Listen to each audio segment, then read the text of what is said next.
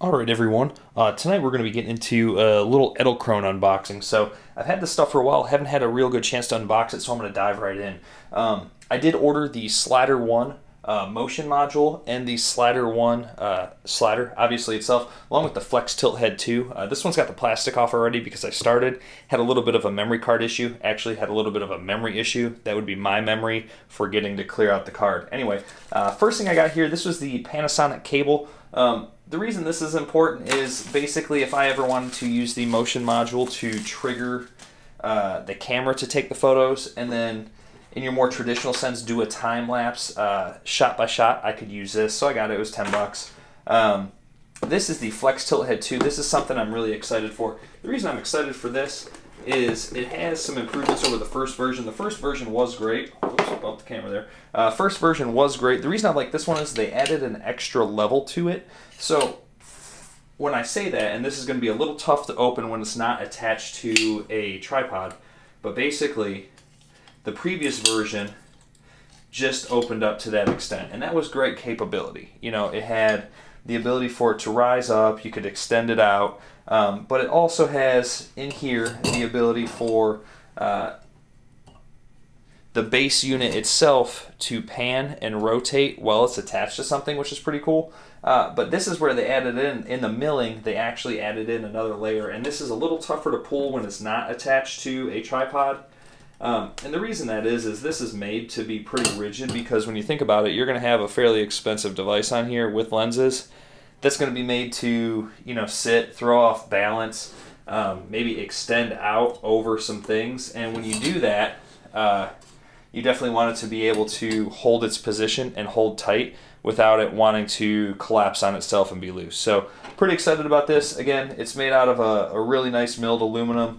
Um, it's got a level built in and then as well, like I said, it has that rotating base unit on there. So that's that's pretty awesome. I'm pretty stoked about that. So this is going to go on top of my SliderOne and the motion module.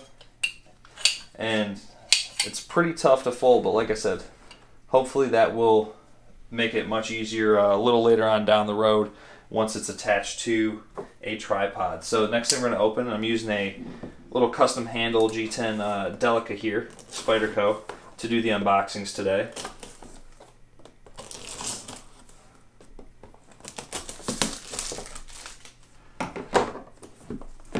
And I do excuse the overhead camera bouncing. I have it attached fairly close to the unboxing situation here. Uh, looks like we opened the SliderOne. So this is pretty exciting because I wasn't sure which box I was opening. I didn't really pay attention or take a look. So taking it out of the box, you basically get your Allen key and this little pamphlet. All of the Edelkrone um, user guides are online, which is pretty cool. You know, it, it's tough because you do like the information at your hands, but you do understand them having it online. It gives you uh, excuse me video play by play and a little better visual understanding of what goes into this stuff.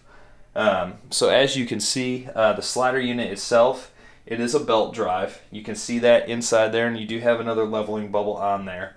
Uh, here on the left, you're going to see this F and this plus, and that basically is going to be your friction right here. And this on the other side is the lock. So say you have your tripod, um, you're not wanting to do time lapse, but you have it set up on the top of your tripod and you basically have no reason for it to move. This way you can attach the tripod head or this flex tilt head on top, lock it in place, and you don't have to worry about it moving uh, as you're trying to shoot.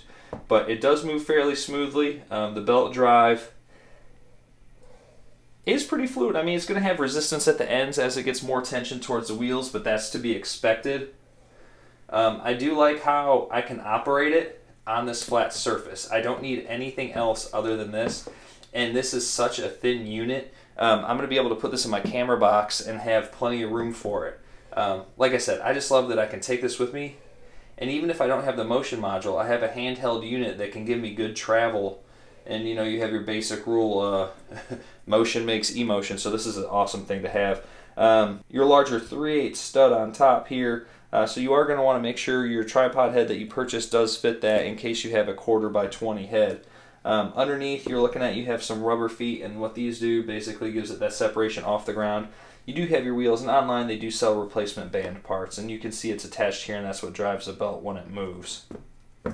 So we're going to leave that there, uh, slide it to the back, and then the next thing we're going to open is going to be that motion module. So the reason I went with this setup, and originally I was looking at maybe getting a second hand uh, different slider from Edelkrone with the action module and the target module just because you can do some pretty creative things there.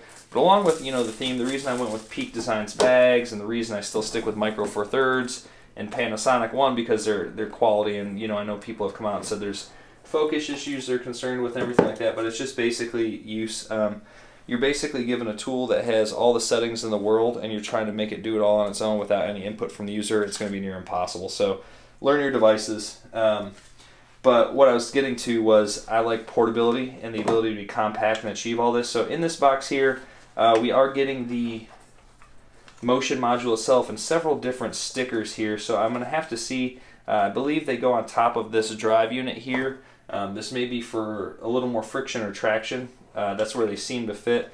Um, this thing itself uses an LP E6 battery. Um, again, this slider unit attaches to the bottom of this one seamlessly. And so basically it fits right on top and has the ability to uh, drive it. Um, this is controlled wholeheartedly from an app. And so that app basically is going to be something on your phone or your tablet. Uh, gives you the ability to go from side A to side B, back and forth. You'll have your normal time lapse capability, along with the ability to set duration, speed, distance. So you have full ability to customize this. Um, right now, I am super excited to get to it. Now, I will say this. Um, it is a little misleading on the website because you do have the ability to purchase an extra LPE6 battery with a charging unit. Um, now that said, it you would assume it would come with the battery that makes it work, uh, but I can show you this has no battery with it. So um, I'm going to need to go to Best Buy tomorrow and pick a battery to make it work, which is a little disappointing. You would think the thing that they sell would at least come with one battery uh, to use it the day you get it, but um, I'll get a little more clarity from the website. Uh, but anyway, this has been my open boxing. I'm really excited for the use of this, and my first impressions are it's made extremely well.